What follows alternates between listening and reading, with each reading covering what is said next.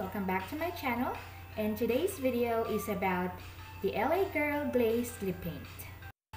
This comes in 6 shades and retails for 3 to $4 on your local drugstores or depends where you get it. Glaze lip paints are a hybrid of a lipstick and a lip gloss. They have a nice intense finish like a lipstick but they're nice and shiny like a gloss.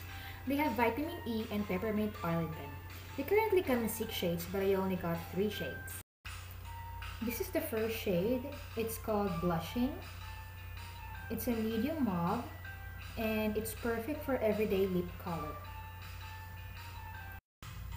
Here's a lip swatch for this medium mauve shade called Blushing. Next is Bombshell.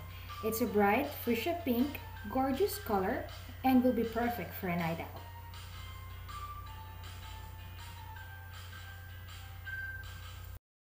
This is the last shade and this is my favorite. It's called Pin-up.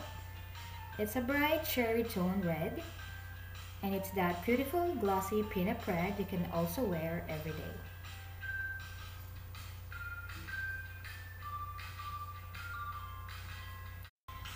All shades are intense and vibrant. I try to stay away from lippies with a hyper gloss finish, but these aren't so bad. I love that they are pigmented and has a little smell of peppermint. For the very affordable price and great color payoff, I would definitely recommend them.